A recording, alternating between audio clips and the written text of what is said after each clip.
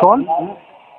अरे पंकज मलिक विधायक बोल रहा हूँ भाई। नमस्ते सर नमस्ते हाँ सर बताइए। तो फिर कह रहा यार रोज तुम सुंदू ही चुपड़े रहो मेरी एक्शन से ऐसी सबसे बात होली। अच्छा।